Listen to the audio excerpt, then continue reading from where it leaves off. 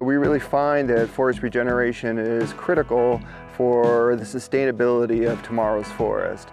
In order to maintain the resiliency of our forest, it is critical that we have young trees, seedlings, and saplings filling in those gaps that are created by disturbances in the future. Forest regeneration is imperative uh, for quality habitat for a number of birds that need that regenerating forest, that young forest, uh, for their nesting habitat.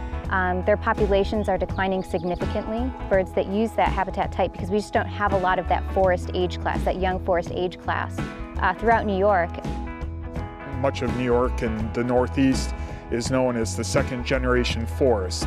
And today we're at a critical turning point in the future of our forests where we want to take these aging forests and replace them with a new generation of young forests that's as good or better than what's currently growing here. Over the last 20 years, as, as we have managed in these, these forests, there have been challenges that we've encountered through overabundant deer populations and the presence of interfering vegetation. Deer are our largest management challenge here on the Arnot and across much of the northeastern forest landscape. Deer selectively browse many of the tree species seedlings that we consider the trees that we want to grow in our future forests. Species like oak and maple and cherry and ash birch. So these are valuable species. They're important to us because they're, they create the diversity of the forest. But when deer eat them, they diminish in the forest. And by not eating other species such as American beech and hop hornbeam, those species flourish and they create dense shade. Without managing the deer problem, we're not able to regenerate our woodlands. Hunting by itself is not effective as a, as a total control mechanism. We need to be able to exclude deer, not just limit the abundance of deer. One of the challenges of fencing is it's very expensive to install, and then it's expensive to maintain and to monitor, and then eventually there's a cost that you have to remove that fence from the forest. We came up with the idea of using slash, the, the low value, non-merchantable or largely non-merchantable material that is part of a harvest, piling it at the perimeter so that we would uh, be able to exclude deer. Behind me is a 150 acre seed tree regeneration harvest.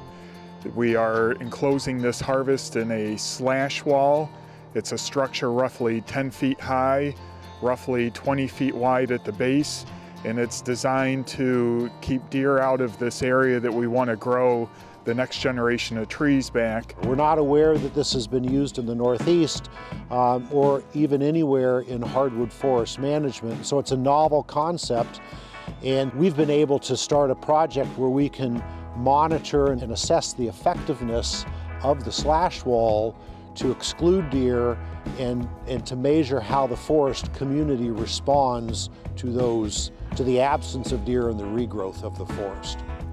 We've been building slash walls here on the Arnot Forest since the spring of 2017. In that time, we've completed now about 250 acres of slash walls, and we have another 250 acres that will be completed here in the near future we what we've seen so far with slash walls over the past few years is that slash walls can be built on a wide range of terrain, even some pretty rough terrain. Even in these most challenging situations, th these slash walls have been effective in keeping deer out of the areas that we're trying to grow back young trees.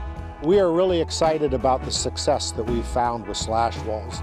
We've seen uh, seedling height growth inside the slash wall that's anywhere from 20% more compared to outside, up to 12 times better growth on seedlings inside than outside those slash walls. It's pretty amazing and the amount of growth that uh, small seedlings and saplings can put on in just a short period of time when not heavily browsed by um, deer in intense situations.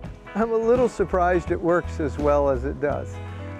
And it seems something that uh, is in the cost range for many landowners. It looks like there's a lot of trees and a lot of volume in these walls. When you take a closer look, you see that these trees are often either too small, such as these little three and four and five inch stems, to really be commercially viable, or they're trees that have a significant amount of decay or curves or defect or limbs. And consequently, the opportunity cost for us to put this wood in the wall instead of putting it on a truck is, is very minimal. I think what excites me the most is it's another option to um, better protect our forests from deer, overabundant deer impacts. But we have birds benefiting from this young forest habitat regenerating as a result of the seed tree cut.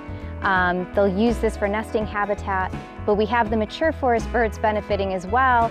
They're gonna nest in the mature forest, but they're gonna forage during the nesting season in this young forest habitat because it's so abundant in insects and berries and other food resources that they need. Cornell's research across the board has really impressed me, especially at Arnot, where they are testing and researching the slash wall um, at effectively uh, you know, excluding deer and improving forest regeneration. So we really uh, value our kind of partnership and working with Cornell and getting expert advice from them. And I see the research here at Arnot Forest is kind of critical and kind of paving the way for the sustainability of uh, the future of forestry and all the challenges that it might face from a multitude of stressors.